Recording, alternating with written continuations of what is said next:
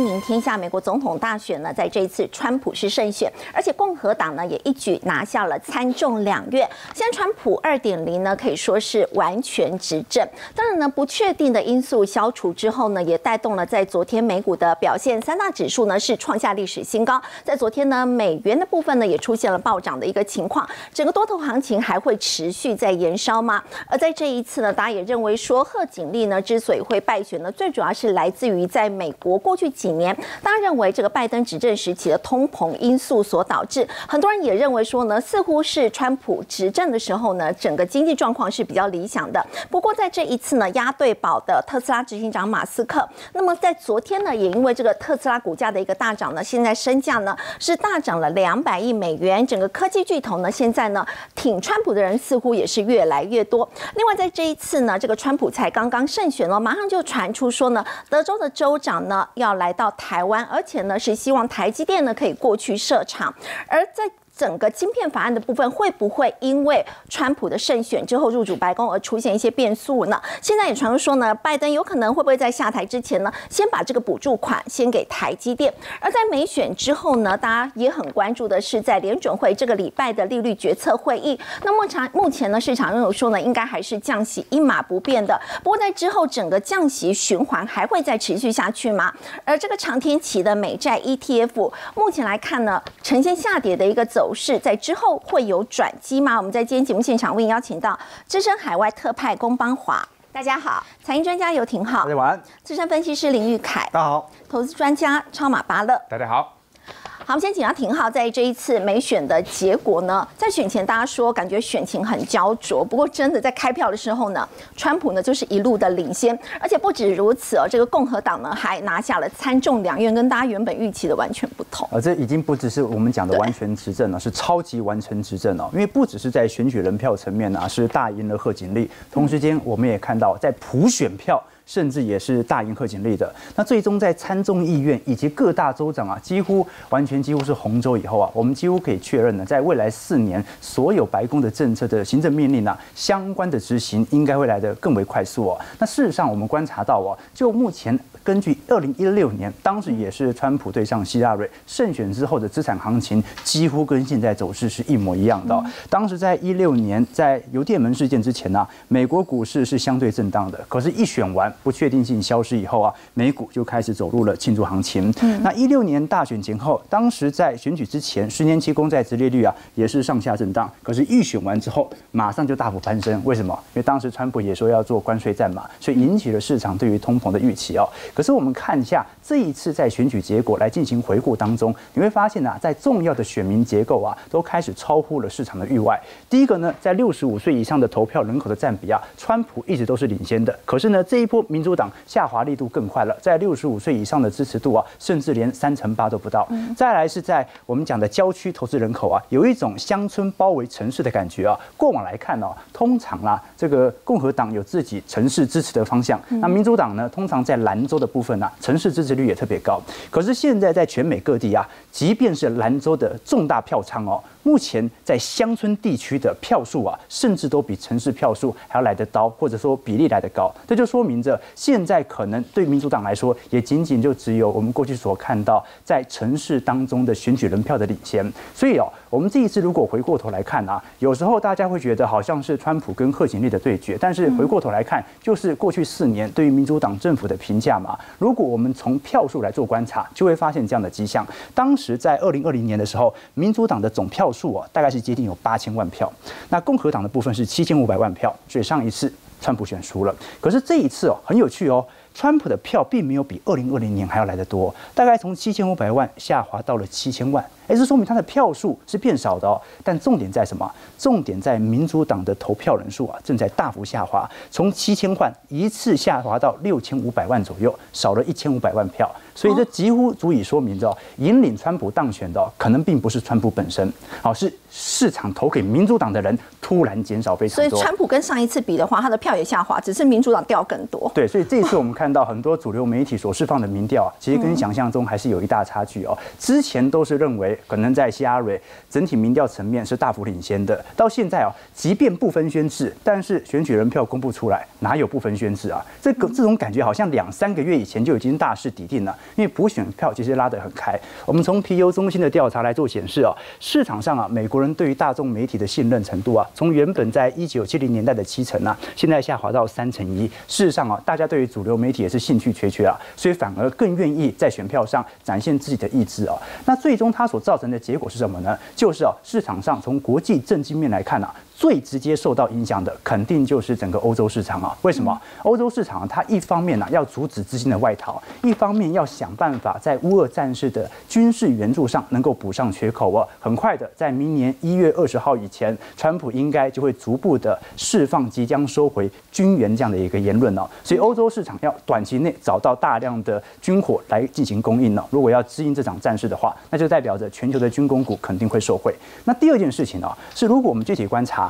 蓝色线哦，是美国对于海外的 FDI 直接投入哦，而橘色线呢是其他国家到美国的设厂。你有没有发现啊？这几年美国已经不到海外设厂了，可是这几年从川普所开启的贸易战以来，我们却发现哦，这个海外市场投资美国的金额不断的提高，这足以彰显着你会发现，过去美国的经济成长率虽然也差不多就两 percent 左右，可是为什么那些经济成长率四 percent、五 percent、六 percent 的市场啊？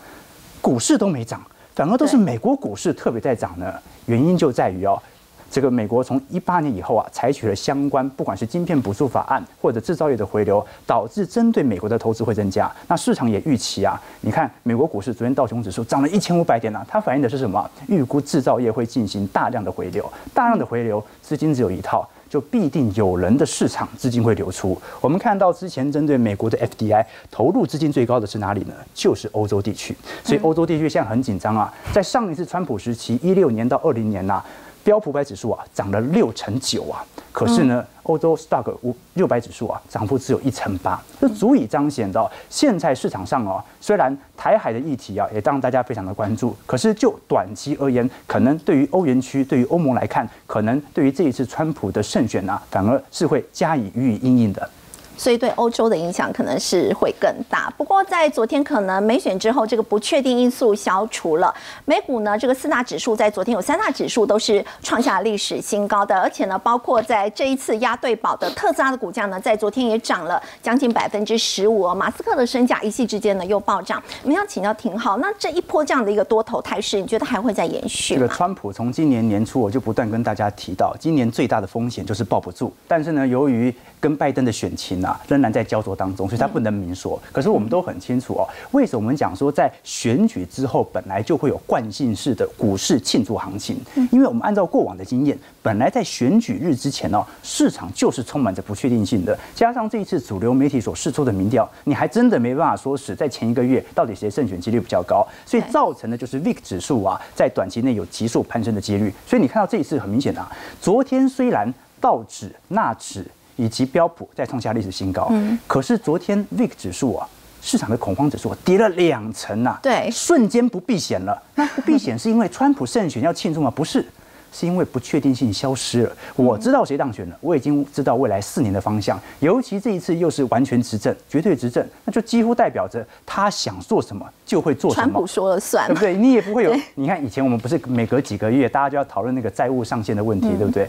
那现在需要讨论吗？不需要啊，参众议院都是共和党的人啊，所以啊，我们看到 VIX 指数就会在未来几个月会有惯性的下行。那第二件事情呢，是针对标普百指数，既然避险情绪正在退却，就代表着风险资产情绪哦，在未来几个月就有持续走高的态势哦。所以呢，现在这个时机点哦，我反而就不建议大家说一定要立即进入到股票市场了。为什么？因为它现在哦。最恐惧的时间点，可能短期内已经过了。你可能要等待有一个新的怪力回调，那反而要怎么样？要等川普啊释放一些恐慌性的言论，你 要让股价跌下来，你才有低阶的机会嘛。要不然呢，现在市场上可能会走一波获利的上行通道。那第二个观察的重点呢，是来自于川普的政策。川普的政策哦，这一波对外是高关税，但是对内是大减税。那最受惠的是谁呢？最受惠的就是中小型企业。为什么？对外有关税啊。人家海外企业、中国企业不会来跟我竞争了。终于，哎，对内降税率，我缴的税又变少啊。罗素两千哦，在昨天几大指数当中啊，是少数能够一天涨五 percent 的指数啊。中小型股目前是非常活泼的。那第二件事情呢，是昨天的金融股，道琼指数也涨非常多啊。为什么呢？因为即将放松大量的金融监管，而这种金融监管呢，其中一部分就是针对比特币的监管。昨天比特币已经跳上七点六万美元了，这是第二个观察重点。那第三个呢，是昨天特斯拉股价也是净扬了十几 percent 啊。嗯，很多人会担心啊，哎。那个川普要针对中国市场啊，课征六成的关税，哎，特斯拉有一个上海的超级工厂啊，那特斯拉会不会被影响？哎，事实上是不会的，为什么呢？关税有一个前提哦，关外的要克，关内的不用克。那在特斯拉生产的中国的特斯拉卖给谁呢？卖给中国市场，所以基本它没有进口到美国就不会克 啊，所以这个是特斯拉，只要没有进到美国，它就不会被课税。那再来就是亚马逊的创办人贝佐斯，因为他现在持有这个华盛顿邮报，那这一次呢，他也。确保了这个邮报呢没有进行显著的在选前的时候不敢去押宝贺锦了。对对对对，过去通常会有比较明显的政治主张。对，哎，这次哎，亚马逊股价昨天创下历史新高价了。所以我们看到，其实从风险资产的角度而言呢，至少就华尔街来说，你说高关税。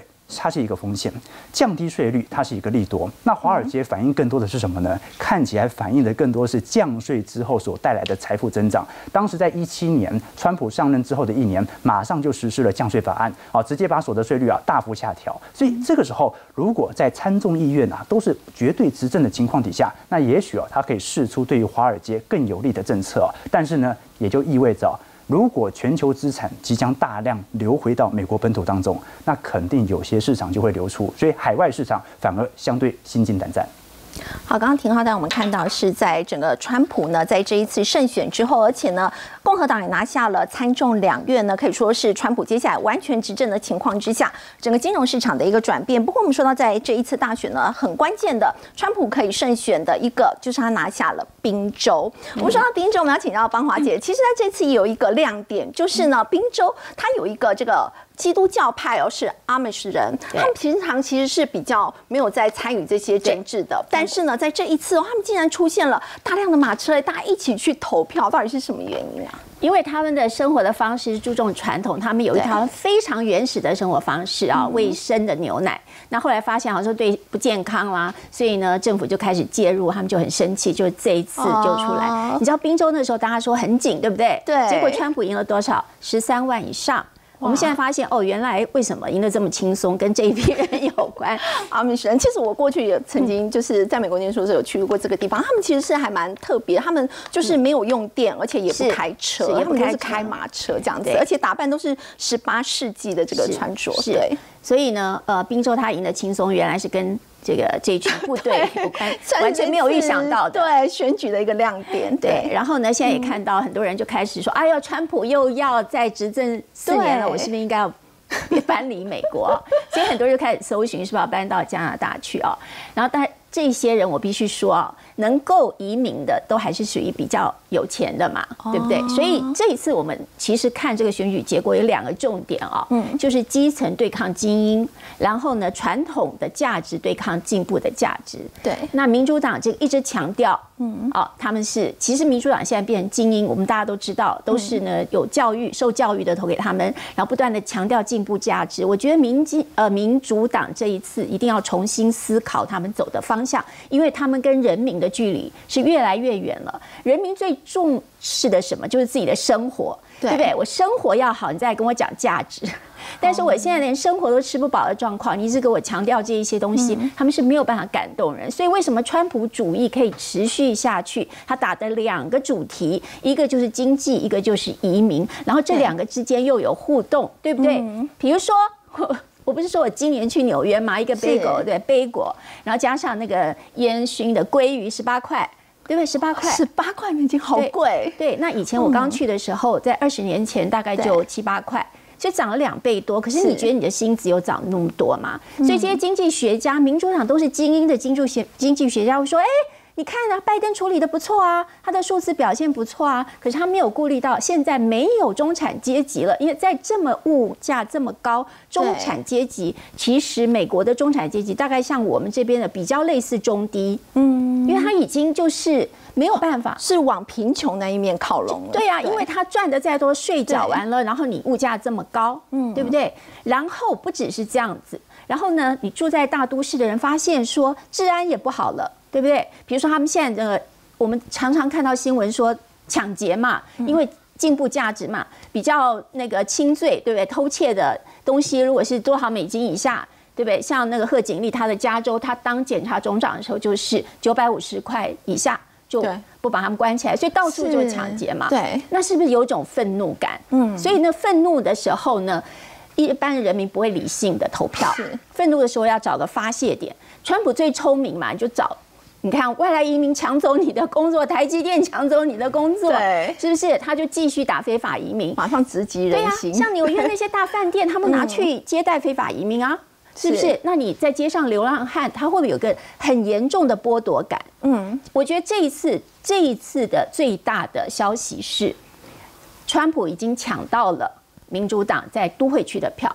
这是以前就像刚刚廷浩所分析的，以前从来没有发生过的现象，因为都都会区绝大部分都是民主党的 但是现在都会区发现我的治安也不好，我生活这么贵，是所以开始转向，还有少数移民，这一点也很奇怪。少数移民通常都是选给民主党，但是呢，他们太过强调进步价值也有关系。所以这一次他们好像在这个少数移民的部分也没有占到便宜。没有，尤其是拉丁裔，好，拉丁裔有很多开始转向，因为他们你知道这些。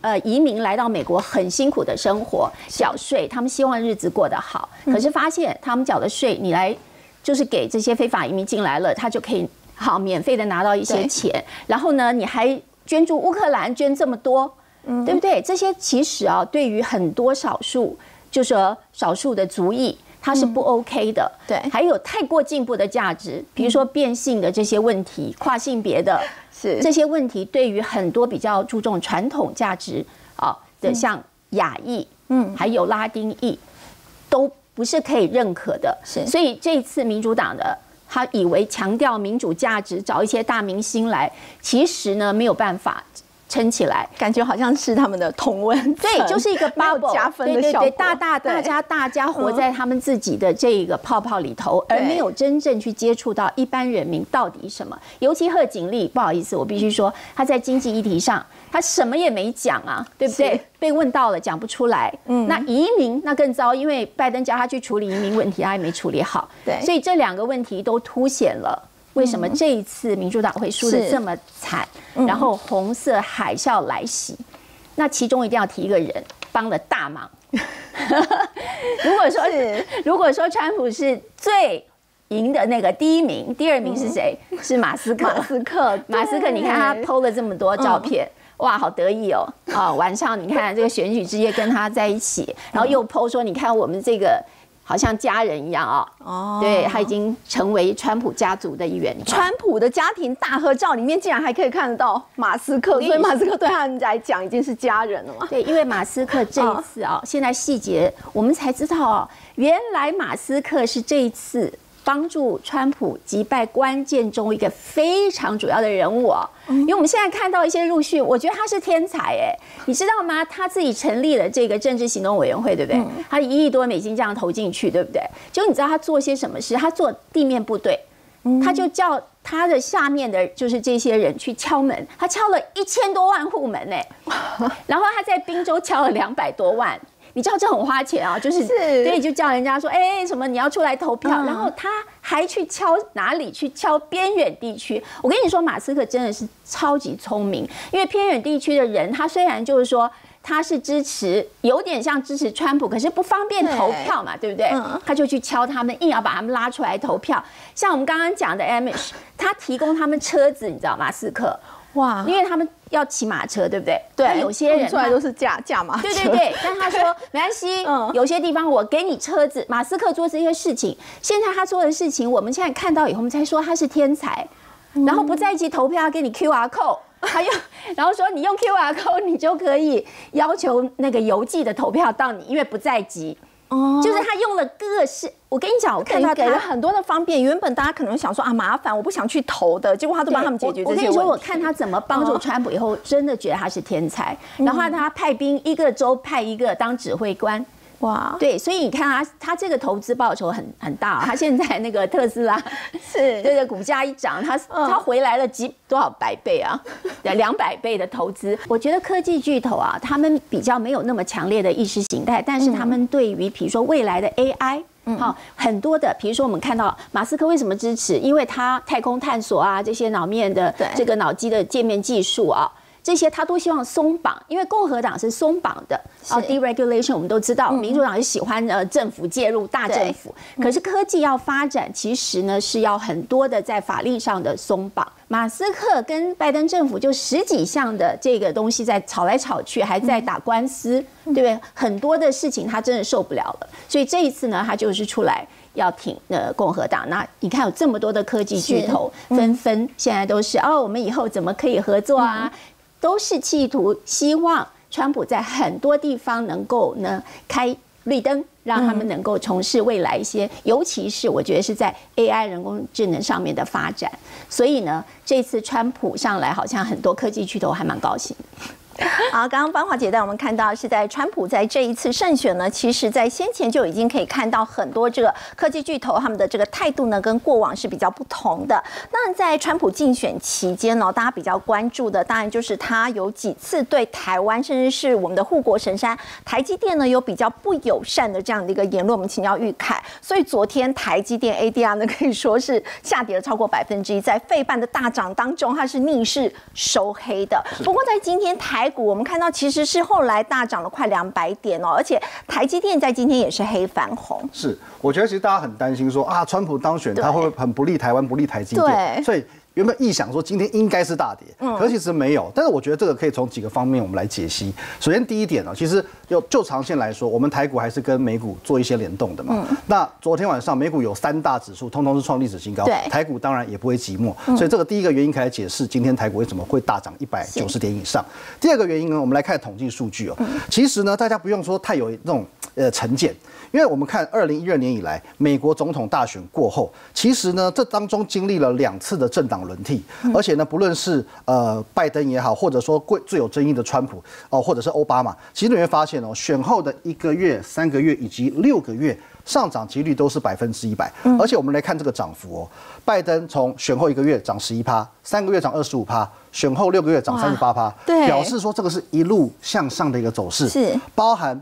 拜登啊，拜登也好，川普也好，奥巴马也好，都是一样，都是一路往上涨这样一个态势。川普第一次当总统的时候也是，对，只是说涨幅稍微少一点点，二点三八、四点三八到十二点二八。可是其实在这半年当中，一路都是向上的。是，所以其实我们大概从这个历史的数据告诉我们说，选后的半年内，其实大概都会有一个行情可以去做把握。嗯，好，那先来解释一下为什么。呃，川普大家很担心它上涨，可是其实大家不用担心，因为刚刚我们已经讨论过嘛，其实中产阶级现在慢慢消失。那以这个川普的政策来讲，第一个它是保障比较中下阶层的人，再来呢，它有利于所谓的富人，也就是这些企业主跟老板们，对，因为减企业税。嗯，其实在他上一次的任内，他已经大幅度的从三十几趴降到二十一趴，这一次他拟定要再从二十一趴降到所谓的十五趴。嗯，其实很多华尔街的这些大佬也是乐见其成，是啊，因为其实就会有利于财报的一个表现嘛。对，那当然，呃，美股就有这个向上的一个力道。嗯，好，那再来我们看到这个台积电部分哦，台积电怎么办呢？好，那今天台积电之所以呢能够大涨，其中一个部分。原因是因为知情人士透露，当然我们是说这只是在传啦，我们不能证实。呃，这是说，因为大家原本预期说可能川普是比较不利于台积电的，他比较有一些比较负面的这些印象嘛，所以说现在拜登政府很积极的想要在他的任期结束之前去发放晶片法案的这个资金。好，那我们知道说四月份呢，其实台积电已经获得六十六亿美元的补助，还有五十亿美元的一个贷款，好用于建设这个凤凰城的第三座半导体工厂。嗯，好，那当然格罗方德啊，其实其他厂商也有呃获得这个补助。可是呢，其实在这个拜登的晶片法案，它的总金额大概是三百九十亿美元的一个补助，现在钱还没有发完。对啊，对。那其实拜登政府他是非常有意的，希望去振兴美国国内的一个半导体，而且很怕川普上来之后就不认账，所以，晶片法案就把它废掉。他很怕他把它砍掉，对，所以他希望说啊，我们赶快最后冲刺这两个月期间，赶快发给你。所以说这这这个未经证实的消息呢，也激励了今天台积电的股价。对，而这边我再做一点解释哦，其实呃，倒也不用担心说好像。呃，川普一上台就会对台积电大刀阔斧，其实不见得哦。因为其实，在拜登选举，呃，在拜登跟这个川普他们其实对打的这个期间呢，其实川普达到一个点，就是说，在你的任内有很严重的通膨问题，嗯，一度来到八个百分点，对，好，那其实当然因为对手哪个地方做的不好，你就可以痛打这个点嘛。所以其实川普他是一直主张说，我要抑制通膨。可是呢，大家忘记了一件事情，其实台积电它本身是有话语权的一家公司。是，如果今天我不论给你呃取消补贴或者增加关税，又或者是强迫你再设厂，其实都会增加台积电的成本。那台积电，我是一家技术这么领先的公司，你你你的美国公司也得也得靠我啊，辉达也得靠我，苹果也得靠我，我依然可以把成本转嫁出去，到最后这个成本会到这个终端产品这边，其实一样会造成通膨的问题再起来。所以其实我认为现在当然。啊，选举期间我可以讲一些选民爱听的话，可是当我真正就职之后，我就必须要考虑很多的方做法，可能就比较会稍微没有那么严厉，就要稍微谨言慎行一点。不过要请教玉凯，因为大家也担心，那以后会不会一直要台积电到美国去设厂？因为一直到美国设厂的话，可能成本就拉高，而且先进制程的部分，到时候就大家也会担心会不会变成美积电？因为才刚胜选哦，就传出这个消息，哎，美国的德州州长据说要来到台湾，那么希望台积电也过去设厂，会不会太快了？我我觉得当然，现在美国很希望拉拢台积电。因为他很希望说把这关键技术，尤其是先进制程留在美国本土。嗯，可是我们可以看到，其实我们从这个这个方向，我们可以看到一个一一些端倪。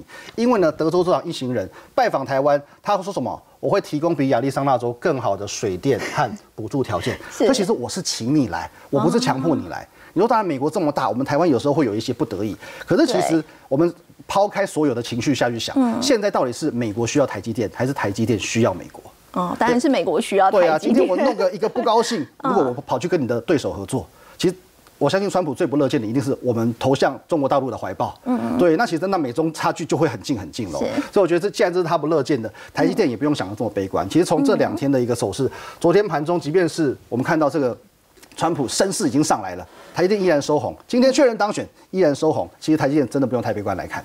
好，不过在这个时间点也传出另外一个消息哦，就是这个辉达黄仁勋现在要赶快切割掉美超维，因为美超维这个财报的争议嘛。那么对台湾来说的话，谁可以受惠呢？好的，我们来看一下受惠股呢。那当然，这他刚刚缴出的第三季的季报，其实已经来不及，已经没有用，因为他现在缺的是这个去年度的一个财报。去年度财报十月二十号如果缴不出来的话，他就有可能要面临下市的一个风险了。那缴出第三季季报缴出来成绩也不好，因为其实，呃，在这个第三季跟第四季都是差于市场预期的，哦，EPS 大约是持平的，我觉得帮助不大。所以公布之后呢，盘后再崩了十五个百分点，而且这个波段已经跌了超过八成，非常的惊人。那这个时候我们当然看美超维事件一定会有受害者，也就是它的这些上下游的相关厂商。对，因为其实接下来很难会有，就像就连辉达都跟他做切割了，那这其实已经是一个信用问题，感觉上好像有没有办法救了。对，所以一定会有厂商 开始要跟你做切割，未来可能订单不再想要下给你。嗯，所以其实比较紧密的合作伙伴，像是立台跟双红，其实最最近股价的走势。都不是太漂亮，原本双红打个底，准备要上去，最近有杀下来，是就是这个原因哦。嗯好，可是有受害，一定会有受贿。受贿，对，我们来看这边哦。其实其实现在当然大家紧盯的就是 GB 两百的一个出货。好，最大供应者是红海，再来是广达，第三就是美超伟。嗯，那这个部分呢，有没有可能美超伟的订单转到广达跟红海呢？其实比较难，因为其实他们两家也都是产能接近满载的一个状况。对，所以他可能就会寻求其实其他的一个供应者。但我们知道说，像技嘉跟英业达就有机会来做一个受贿。那技嘉。那除了有这个转单的受贿题材之外，它同时也是双题材的，因为其实现在川普当选了嘛，那我们知道说他当选本来就比较有利于虚拟货币的发展。那技嘉是这个出了名的这个我们挖矿概念股，所以我觉得说位阶也够低，后续可以留意。那英业达的部分呢，它除了原本有这个转单的受贿概念之外，它原本在今年下半年其实整个 GB 两百出货的动能本身就很强，是。所以其实我们从营收九月、十月连续创下历史新高，就可以看得出来，明年度的这个 EPS 应该有机会成长到一倍。所以我觉得这张股票位阶也够低，未来都可以持续留意。好，刚刚玉凯带我们看到是在台股的部分哦。不过现在市场也很担忧，川普呢接下来他当选美国总统了，那么会不会有推升通膨的一个风险？也会不会因此影响到美国联准会接下来降息的一个步调？我们要请教巴勒哦，有可能放缓或是暂停降息吗？我想降息这件事情，我想我们讨论呢，我们分两个阶段来讨论。在我们有一个叫做美国总统大选之前跟之后，在九月十八号就是在宣布降息的时候，那种感觉像不像是我们在等跨年，在五四三二一放烟火了？就就一抬头一看，烟火呢，就是大家以为是不是降息了吗？对啊，降息怎么在当时跟总统大选还没有太大的关系？但是降息你怎么债券不涨？对，而且还跌。降息它不是一下子，它可能是好一阵子。哦，所以说在初次降息的时候，在当时的利率值只我像我们在九月十八号是降了两码，在当时的状况来讲，这个降降低的幅度其实还不是很够。它是一个循环，它不是说马上降息特效。所以说来讲，等于是说以债券的一个是债券的一个特性来讲的话，在。初次降息来讲，在以金融史的角度来看，在初次降息的前面那一个阶段来讲，债券的价格它虽然不至于会像什么烟火就砰就一下子飘上去，但它通常反会着盘跌，或者是在盘整的情况之下。所以说，在这段过程中，你会发现说，明明都有降息，对，但是问题价格怎么都不会做动作？因为这个在金融史上这是很正常的，它必须要到某一种状况。就是你的降息的预期感，觉得说应该还会再持续的往下降，或者是累积到一定幅度，就像在这边，当在价格往上涨的时候，是因为得是。大概市场上已经预期，就是说这个降息会在持续往下降。比如说第一次可能是降了，比如说降了两码，那再来说再降两码，等于是累积到百分之一。在这种情况之下来讲的市场的利率，不管是直利率跟非方瑞，它的一个落差感出来之后来讲话，这个时候价格上来幅度就会比较大。也等于是说回到刚刚我们所举的那个例子，虽然它晚了五秒钟，但是你再等一下，那个烟火一定会放出来的。所以这是第一点，这个是在在美那个美国中的大选之前。在总统大选之后，大家担心，就像刚刚前面都是我提到过，是比如说通膨的压力。不过我在想说，应应该说，川普之所以胜选，当然理由很多，他的主要的两个主轴，一个代表说选了他之后，经济会往上变好。嗯。第二个叫做那个通膨一定会往下掉，因为等于是说。当大呃，当川普当时在讲，就是说，都是对美国选民来讲，你觉得最近这两年你活得会比较快乐吗？你会发现，比如说钱赚的不够多，对，它就是物价越来越高。但是我们讲说，在经济的层面上面来讲，这两件事情能不能够同时都做得到？我会觉得，可能整个执政之后，他必须思考一下，你有没有可能就是在以所谓的刺激经济的这条路上，你如果不小心反而会增加了通膨，你反而会受到比较大的一个。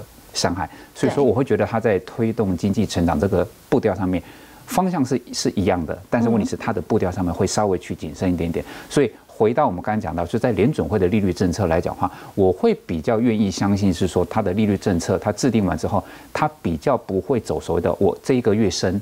哦，这个月降息，下个月就升息，然后又来一个降息，就等于说，它如果忽升忽降，这个就比较不会像是联总会的一个惯惯性，所以我们还是愿意相信说，目前来讲市场上可能会对这个降息的速度会有一点点说，哎，会不会有点影响？会不会因为在未来的预期可能会产生，可能因为经济的刺激的政策造成。通膨的疑虑，所以说它降息会往，我会觉得会受到一点点影响，但是应该还是会往同样的方向前进。就是降息的这个趋势方向。对，就是它的频率、它的强度或它的速度，有可能会有一点点跟市场上原本的预期不太一样，但是基本上方向还是一致的。也因为这样子的一个预期的情况之下，所以我个人才会觉得是说当。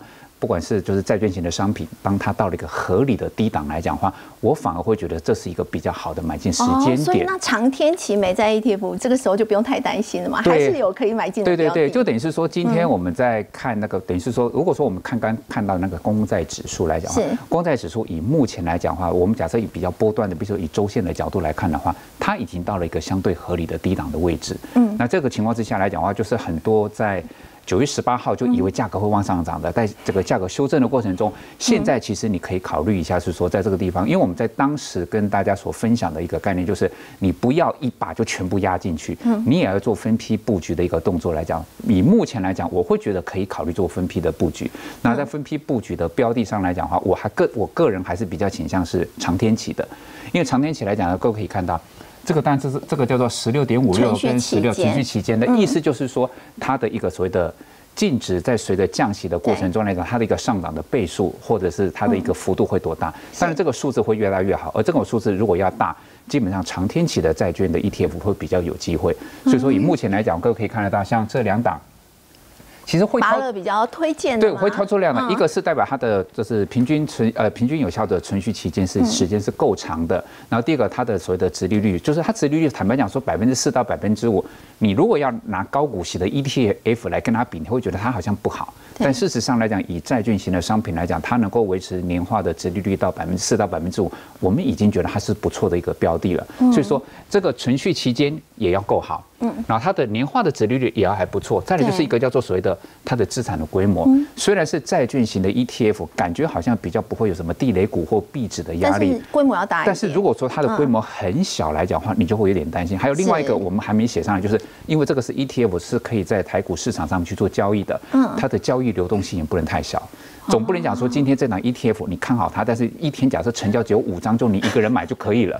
所以说你也会去考虑到是这些因素之后，我觉得这两档的债券型的 ETF 是我个人会比较喜欢的。再加上是现在来讲，随着在这边，嗯，价格从九月十八号开始在做修正的过程中来讲的话无论无论是对无论是说从那个它的价值本身来讲，还有就是说它的一个所谓的技术形态的一个低档的部位来讲的话，我都会觉得它现在的位置。都还算是一个不错的位置，对，就是如果可以逢低加码来讲的话，我会建议各位在一个比较适合的价位做逢低布局来讲的话，那个跨你的烟火晚了五秒，但是它还是会看得到，烂，它还是会很灿烂。先请教微良哦，现在美国联准会入市场的降息一码，加上川普当选，所以激励美国股市呢是再度上演大涨的一个格局。可以看到辉达的市值已经突破了三点六兆美元。不过现在大家比较关注的就是在台积电的部分，认为接下来会不会被美国要求说呢，要把两纳米哦赶快提前到美国去生产？那么今天也传出说呢，台积电下个礼拜开始呢，他们就会断供中国整个七纳米以下的晶片，它的影响会有多大？好，那川普呢选上了总统啊，那基本上他说让美国再次伟大，靠的是什么呢？我个人觉得 AI 会让美国再次伟大。AI 好所以其实呢，现在呢主导全世界 AI 发展的，当然就是呢美国这些科技巨头，其中呢哦最近的市值宝座哦其实非常精彩啊，因为呢。辉达哦，最近才刚写下历史新高，哦而且它的一个市值的部分呢，不仅是突破了自己，突破了苹果啊，其实其实呢也创下地表以上哦最大的一个记录，来到了对三点六五兆美元哦，所以这个这个算起来台币这个规模真的相当相当惊人哦。那其实当然呢，辉达股价能够上涨，就让大家看到，其实整个 AI 的中长期趋势绝对没有改变。那当然也激励了台积电的 ADR 在美股呢，事实上昨天呢也大涨了四趴。那值得一提的是啊，因为川普当选之后啊，其实台积电是先下杀的，是哦但是昨天涨回去了啊，越过了这个所谓的川普防线了哦，所以看起来呢，应该是有那么一点虚惊一场。嗯，可是真的是这样子吗？其实从最新的消息来看哦，据传美国商务部哦已经准备要对台积电开刀了。已经准备要开刀，不过台积电今天在台股不是也收最高吗？可能盘中哦，今天这个消息还没有发酵哦。哦，因为今天盘中的上涨是因为昨天 ADR 先涨之后，把是溢价幅度拉到超过两成，所以就有利于哦这边台积电补涨，或者说当然最近一些内资也在呢啊默默的持续加码台积电。哦，可是我们观察最近外资对于呢台积电好像还是比较呢保守。纯观望的态度，对还是在观望。我认为可能就是在观察，哎，川普当选之后，接下来会拿台积电开刀吗？那我刚才提到商务部哦，其实现在就准备开第一枪了，因为呢，据传，呃，要禁止台积电把七纳米以下的制成产品哦，全面禁止销售到中国。嗯，那这个影响呢，到底有多大？我算给大家听。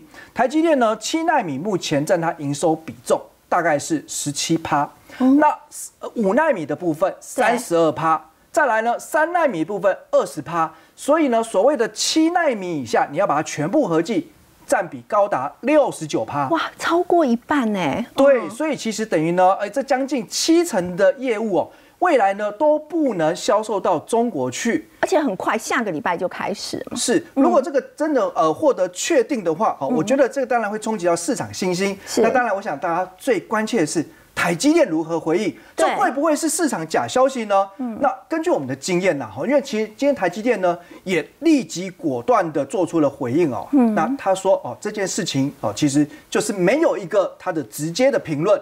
他并没有去否认说啊，完全没有这回事，子虚乌有哦。所以他是不置可否。他只是说，对哎，一切都会按照规定来走嘛。哦，所以这个有一些想象空间了，可能性就好像有提高了一点哦。对，那我必须说哈，如果真的是这样的话，首先呢，下个礼拜市场的心里面情绪一定先受到影响。对，因为大家从选前就一直在担心，就是说川普哦一定会呢啊持续的去打台积电，然后呢希望呢哦对我们的半导体产业来加征关税、收保护费。对，当然他他更希望是什么呢？把我们的先进制程，尤其就是二纳米的部分哦，是整个供应链都搬到美国去。所以现在川普他的胃口是很大的，对，他不是只要呢啊台积电这个皇冠上的钻石，是我整串供应链全部要一起来，它不是要一颗珍珠而已，它整串都要拿过去。是，那当然他就希望是透过呢投资来带动美国当地的就业，而且呢能够就近供应这些呢科技大厂。好，但我刚刚还没说完的是呢，我觉得短线虽然台积电会受到一些。负面的消息或心里面的冲击，可是呢，中长期大家也不用担心。为什么？我们还是要强调，因为毕竟呢，台积电是有定价权的，对，技术领先的优势就是放在那里，任谁当总统都无法撼动。嗯，如果呢，川普你真的要这么硬，你要呢来加征关税，好，台积电的成本恐怕呢就要提高。对，提高之后怎么来维持自己的毛利率？其实就是把产品的价格也调高，它必须要转嫁出去嘛。转嫁出去，那到最后是谁来买这些高科技的晶片？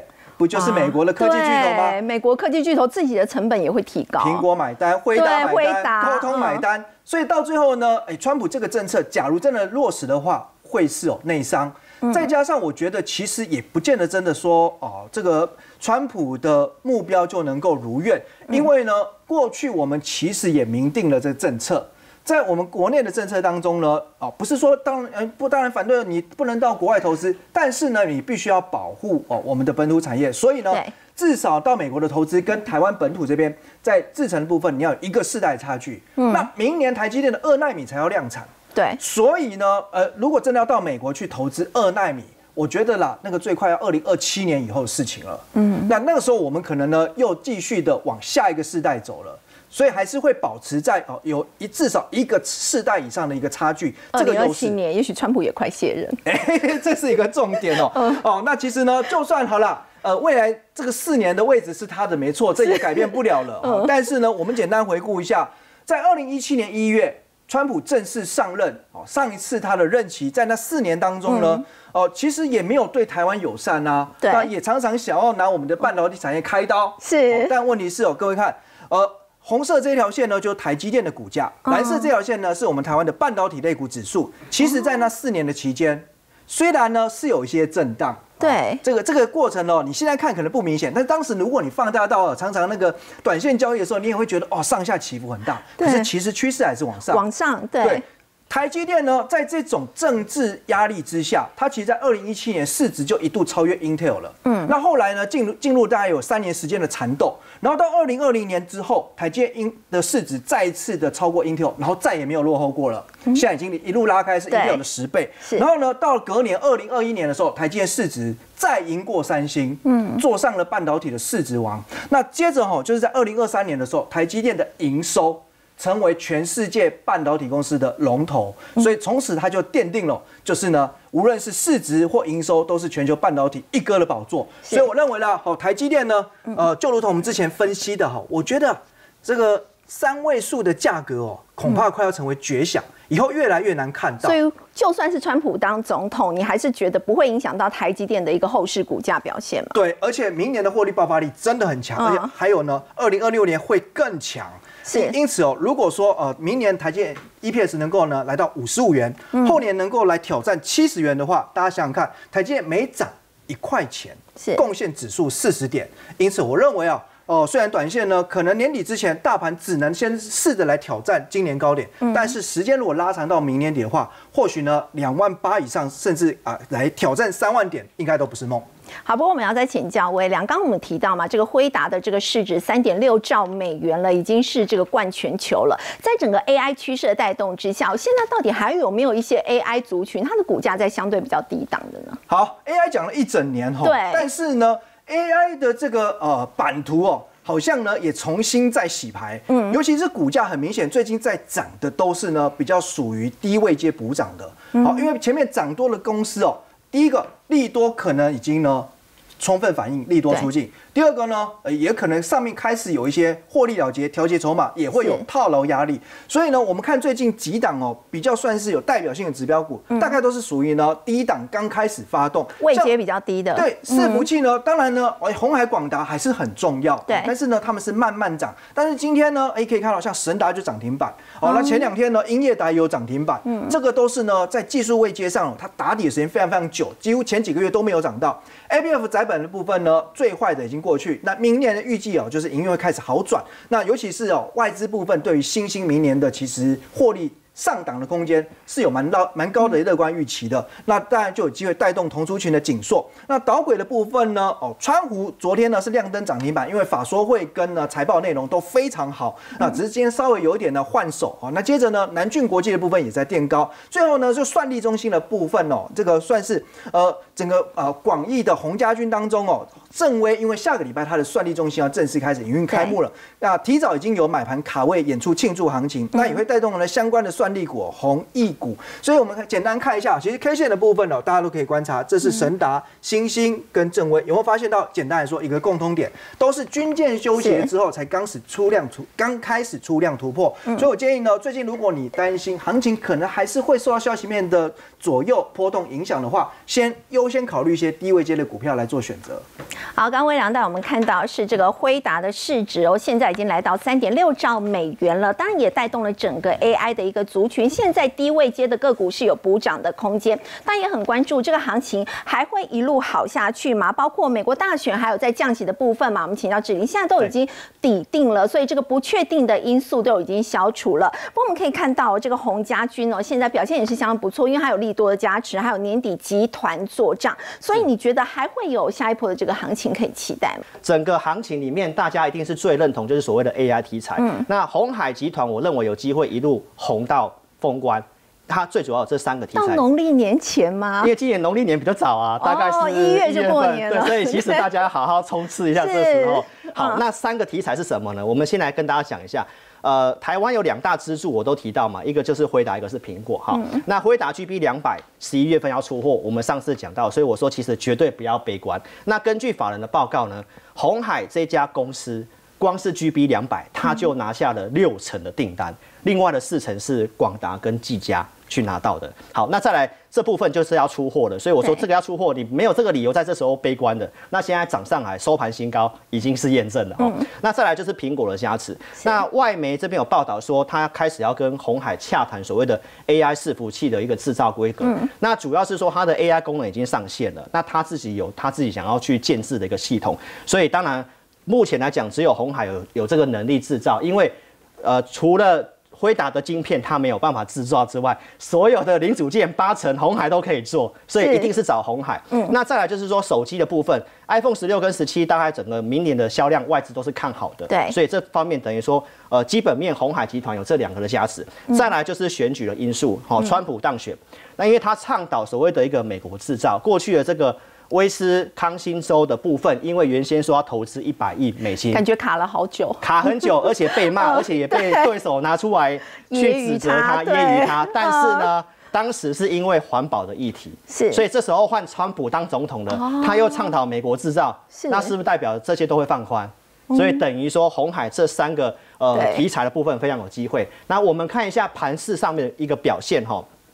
昨天这个不确定一解除之后，我们其实发现到整个红海集团的表现真的是非常的不错，因为过去一个月是震荡嘛。那我们先看母公司红海，最近这个月已经涨了十 percent，嗯，今天是继续涨。好，那其他的一个族群，就是我刚刚提到的。只要跟 AI 族群、跟苹果相关的族群有关系的，大概都涨得不错。尤其红准大概涨了四十六 percent，哇！这是今天还是继续涨？很强劲，它是这个月最强的标股之一。那再来这个 MS 就是呃 AI 相关的，好，包括像健康、富鼎这些。好，那我们这边的选股先跟大家讲，既然要进入吹牛行情，最好营收都公告了，什么事情都没有了。好，所以这边营收公告的，我们帮大家挑十月营收是年增月增的，红海是。呃，月增年增，那我们看到红准的部分其实也是月增年增。那有些没有公告的，大家都可以去做观察，其实表现是不错的。那我们今天就针对已经公告来跟大家报告，像富鼎的部分，它也是月增年增，以及三五八零的有微科。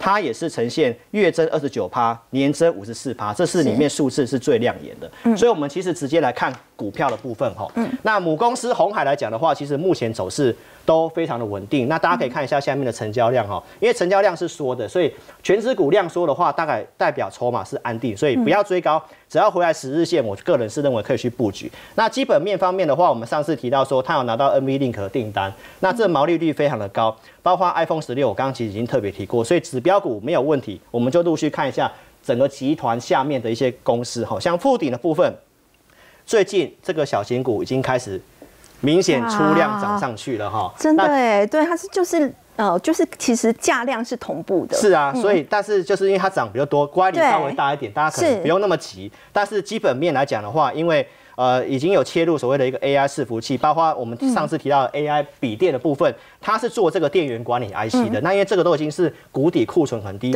很有机会往上。那公司的基本面获利营收也都非常好，所以如果有稍微哦靠近十日线强势股，我也觉得可以介入。那大家再看一下红准，就是这个月最标的股票，涨了四十六 percent 哦，已经。呃，网络上都说它即将要破百哈，那大家可以去期待一下。那大家也可以看一下下面的成交量，嗯，因为在选前量非常的缩小。那基本上呢，它有做散热，包括像这个呃散热呃伺服器的那个机壳，基本上也都是红笋可以拿的哈，所以大家也都不妨可以参考十日均线。那有微科的话，大家也可以去特别注意，因为这股票是三角收敛，而且呃它的一个营收。年增月增也都是表现的非常好，它是做这个所谓的 CoWoS 的。那台积电的法说会其实都已经提到，CoWoS 的产能是一定要在持续性的倍增的。好，那这个设备股就会有非常大的机会这样子。好，不过我们家想请教志玲，不管是吃到这个 AI 的订单，或者是这个苹果方面哦，很多的这个个股，包括我们的重量级全指股台积电、红海或者是联发科，大家会觉得说，哎，股股价已经涨得这么贵了。那么对一般民众，如果说这个时候再进场的话，就会觉得啊，股价好贵。有没有其他的？一个方式，像是买相关的 ETF，对，斐鱼非常的贴心哦，帮这个啊 小资族都想到了哈，所以收看精灵红包来领啊，我们今天来跟大家讲红包行情哈，因为这个台积电一千多块了哈，对啊，红海联发科这个也都很贵，很多红海也两百多块，所以我们非常贴心的帮大家找出哦 有机会的一个操作，什么样的机会呢？就是红发机 ETF，因为刚刚威廉已经分析台积电基本上明年都看好哈，是。那。联发科的话，是因为边缘 AI 明年会大爆发。那红海我刚刚已经讲过了，所以这方面我们就来帮大家挑，什么叫做红发机 ETF，就是我们去挑前五大的成分股里面。呃，占红海、台积电的这个呃比重高的股票，我们先讲第一档哈。那因为投资朋友都很想要赚钱，所以我们今天送大家两个想跟两个要哦，两个想两个要哈。来，如果你想要稳的，因为有些比较保守，想要稳的，稳健就好，稳健就好。好，那这个红发比比红发机比重大概是五十二趴哈，就是权重来讲，我们台积电、红海、联发科哈这一档零零九零一这个 ETF 哈，它的红发机比重大概是高达五十二趴。那稍微比较平均的，所以它平均它的走势就会比较稳。那另外的两档股票，台达电跟广达，其实也是 AI 的，所以你看好 AI，然后这股票很单很亲民啊，才二十二块而已啊，所以你买了就可以直接拥有所谓的红发机。他选的这个像台达电，它也是电子股模范生啊，其实本身也是相当稳健的。是，所以这个是你想要稳好。那另外一个就是大家想要爆红。嗯，喜欢就是我就是要红海哈，就是想爆红。想爆红是什么意思呢？就是这个红发机里面呢，它的红海的持股比重 ETF 我去研究，它是最高的。这个 ETF 是零零八八一，好，所以如果你是非常看好红海集团，我想要红海比重高一点，那你就选这个想爆红的这一档，好，零零八八一。那看大家买一买会不会变爆红？你看股价也非常亲民啊，二十五块而已，好，所以任何人都可以去做参与。是，那它红发机比重大概是。五十七点七七比高，稍微高一点点，就是你比较看好红海的，那你就可以选择这一档。好，那另外大家都想要赚钱，所以你要再更激情一点，我们就大家送这个。要激情，好，要激情是什么意思呢？就是如果你刚刚听到微良说啊，明年台积电会非常好，我就是要台积电，好，那你就选这一支叫做零零五二。好，刚刚志玲带我们看到呢，如果说担心接下来这个行情还是难免会有波动的话呢，去买相关的 ETF 或许是一个不错的方式。但川普呢当选美国总统，大家也很关注，除了在股市方面的这个影响之外，对于台湾的房市会不会也跟着受到影响呢？有学者觉得说，哎，我们要请教叶总，这个川普啊，如果说这个要求。台积电呢，以后减少在台湾设厂，多多到美国去设厂。那在台积电的一个部分，如果减少在台湾设厂，那么台湾的房市会不会因此也被影响？应该影响没有那么大。啊，首先呢，因为川普啊，我觉得川普是一个商人啊，他讲话其实很值得参考。参考的是他未来他需要就是大家来 argue 嘛，啊，对所以他创造了筹码。事实上，台积电呢，这个他重返执政之后，各位过去哈，我们有这个专业的董事长跟老板统计之哎统计的机构哈，统计就过去大概十次的美国大选之后的接下来到当选到的第一季、第二季这段时间，基本上股市都是上涨了八次到九次，啊，给大家参考啊，这个这个有完全的数据在呈现，所以其实呃当选完，我记得我他选选在开票的时候，我本来是跟他想啊，这个笑呢丢矿不要拿，可是他一旦我知道说选上的时候啊，我一定是他的换铁的，我我立刻立场就改变了，我一定是他换铁兄弟啊，他商人上来应该没有那么差，他一定会。顾好全面的东西，你看，所有当天的股市跟隔天台湾股市全部都是上涨，你就看对，得出来了。就是连续涨两天了。对，所以很显然是大家不喜欢它，可是它并不一定会带来所谓的股票市场或经济市场的一个下跌。不一定是带来灾难哦。是的，是的，所以它重返执政的台积电会不会跳水？台积仔会不会跳水？我想这个部分呢，我们看看啊，这 这个景文科大这财经系的这个教授张定轩他说啊，台湾以经贸为主，如果是这样的话，台湾在川普政策经济表现会下滑，那台湾的房市发展堪忧。这部句号其实我打一个问号哈，就过去美国的房市哈，大概涨了两三倍，嗯，甚至呃两三倍或不到两三倍啊，但是它的那个涨涨了一倍多，可是它的贷款利率呢，从两三趴涨到七趴多。台湾在这个过程里面，因为房市上涨，台湾的利率涨不到零点五趴嘛，对，这种过程里面，美国就的房市算升息利率还是很低啊。对，也就是说这段过程，美国的房市的发展跟台湾的房市的发展对会有关系吗？没有关系嘛。台湾房市的发展可能跟这个央行的金融海啸比较有关系。这四年当中，你能看到这里所谓的所有的行政区，就是所谓台积电。存在的或者是要设厂的这些地方，比如说龙潭区，龙潭区就从十五万涨到二十万嘛。虽然最后没有去，可是呢，光消息面就让它可以涨，对不对，对就？大涨了。对，那你看宝山，宝山就从十二万八到翻倍。哎，各位知道宝山是什么意思吗？现在的那个最大厂，你从高速公路哦，新竹的那个香山交流道跟新竹系统交流道一交界一转出来以后，你发现右手边怎么那么大？半夜都在施工，超大，那是谁？不好意思，就是我们台积电的几纳米，是二纳米还是三纳米？就那个厂。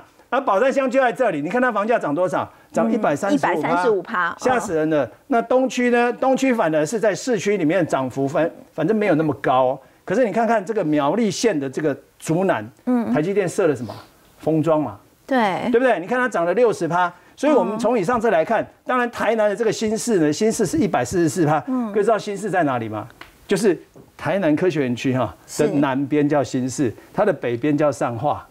那你看北边的上化涨多少？六十六趴，它南边的新市涨一百四十台四趴。中大雅也都涨哎，这对涨了两成以上。所以这些地方呢，其实未来台积电在台湾的投资跟这个所谓的投入啊，还有他们的获利啊，也不会降低的。所以这些地方呢，我只能讲，现在是因为受到金融海啸的控制，让它的量先掉下来。可是价格是不是一定同时掉下来？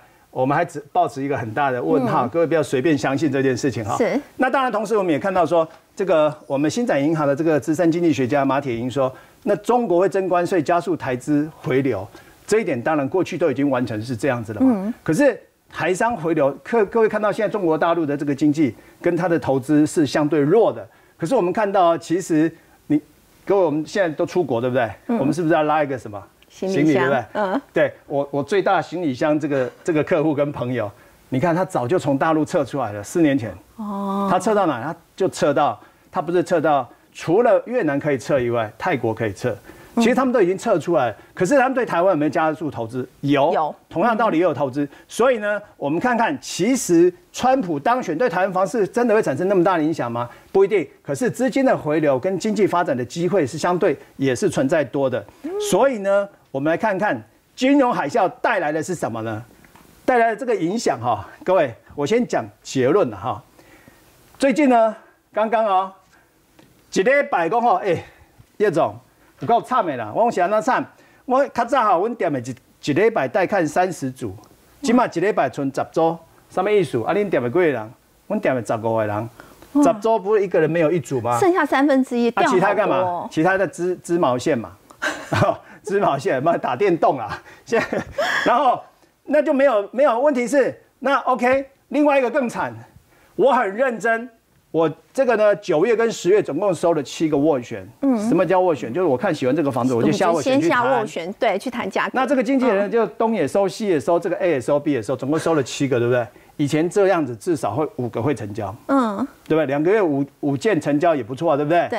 不好意思，现在是收七个退七个。啊，都没有成交啊！你是买方，你现在付了斡旋，你是要你会加价，还是会叫屋主降价？当然是降价啊！屋主又不降价怎么办？屋主也洗手，所以就没屋主不降价，没有共识。现在都没有买方，我为什么要加价？我就撑在那里，老梁跟你拼了，所以你也不会动。可是屋主说你想趁机会趁火打劫，免谈，林走马跟你懂，所以就这样卡住。所以现在最惨的是谁呢？最惨的就是业者嘛。对，所以知道哈，消费者要的是价，可是业者要的是量嘛。嗯，对，不管是中介也好，建商也好，现在没办法成交，所以没办法成交。所以这件事情呢，反而会带来比较多的这个盘整的机会，因为分析是这么多嘛哈，量先价行，对不对？量没有了，那价怎么办呢？不止台股这样，对，所以价格会盘整啊，因为房地产跟股票不太一样。嗯，房地产它要盘整的时候，它就会分区域。分产品、分价格会做不同的修正，所以这一点反而是消费者要花更多时间去了解，然后来保住自己荷包，一个非常重要的关键。所以央行在打炒房之后，的确在现在屋主吸收，但是买方又不加价的情况之下，成交量掉下来，但价格好像还蛮高。很多人觉得，如果说我要捡便宜，就跑去买这个工业宅。不过我们要请教叶总，现在就有这样一个案例哦，他买了工业宅之后，买了住进去竟然不敢开窗，而且呢之后要卖，竟然三年都卖不掉，到底怎么回事啊？所谓的工业宅，必然就是所谓这个地块，它的土地就属于工业用地嘛。嗯。那工业用地呢，它的管制相对的这个容积率比较高一点。对。所以有很多地方呢，它就盖了很多。各位啊，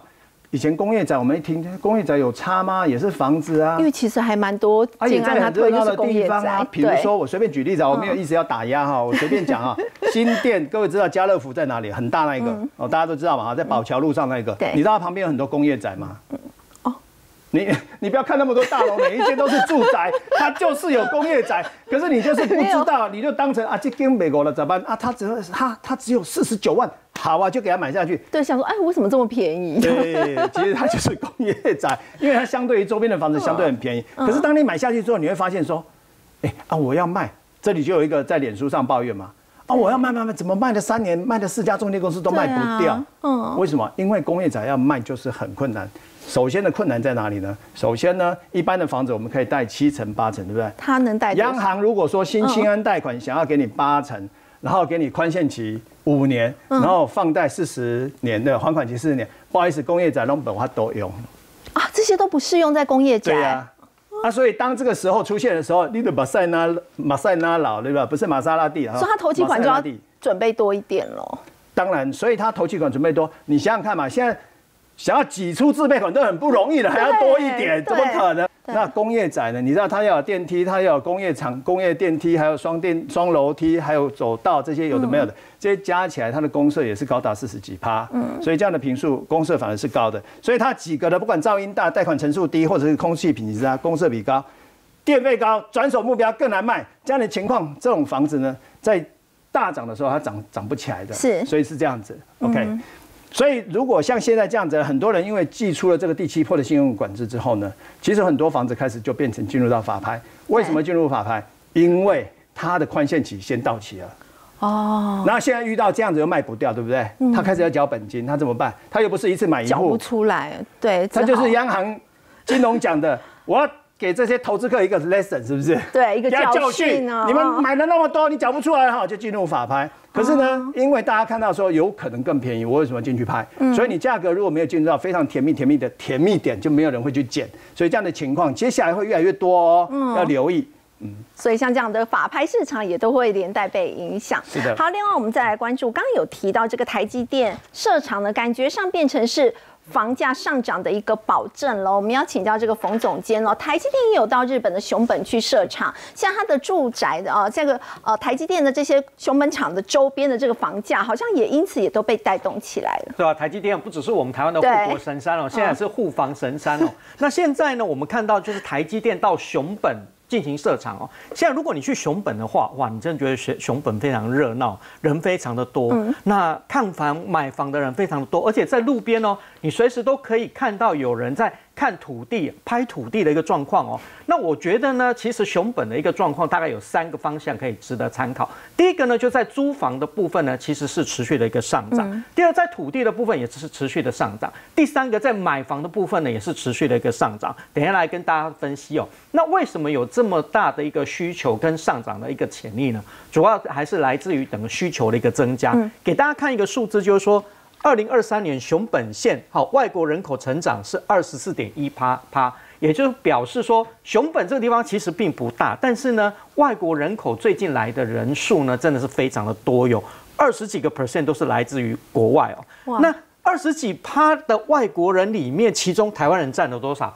三十三点六是整个比重是最高的哇，三分之一，就是因为台积电设厂的一个效应哦。而且呢，熊本还有一个所谓的高度人才签证哈，简单来讲就是高等人才的这个签证发给这样的一个人数哦，台湾也占了两百六十九人占。日本的第二，你就知道说台积电带来的一个效应有多大。那我们刚刚讲说，这个熊本的房地产，大家可以分成三个面向哦。我们来看一下第一个租房的一个部分哦。我们看日本的一个新闻的一个报道，说台积电设厂的菊阳町跟大金町哈。我们先来看一下地图，让大家知道说这个熊本厂是在什么地方哦。台积电熊本厂在这个地方，嗯，那这红色框起来的地方就是菊阳町。哦，那菊阳町右边这个地方呢，就是另外一个町，叫做大金町。好，这个町呢是日本的一个行政区域哦。简单来说，就是在县底下的一个行政区的一个名字。哈，相当于我们的一个镇的意意思了。哈，所以在这种情况之下，你会发现到说，菊阳町跟大金町这两个地方呢，因为距离台积电的熊本厂非常的一个近，所以呢，光是租金的一个部分哦。单身者出租公寓的平均租金哦，就上涨了二十到三十个 percent，连租房子都变贵了，真的。所以呢，特别是这个菊阳町跟这个大金町哦，上涨的幅度还更高哦。但就是因为台积电呢，呃，这个占了一个地利之便哈。那另外来讲哦，这是我们租房的一个部分。大家要知道，就是说台积电哦，大概每个月是补助台积电的员工是十五万的这个租金，十五万日币哦，大概是合台币三万多块哦。这个租金呢，效应补贴效应呢，就是让整个熊本的一个租金呢持续的一个上扬哦。另外呢，我们来看一下房呃地价的一个部分也是哦。我们刚刚讲的大金跟菊阳这两个地方哈，这个排行呢是全日本好，整个日本呢上涨最多的这些镇。那这里面呢上涨最多的第一名是谁？就是熊本的菊呃这个大金丁的部分也涨了三十三点二。那菊阳丁的部分也涨了三十点八哈，这两个呢分就是包办了前两名，也就是因为台积电的一个设厂的一个效应哦。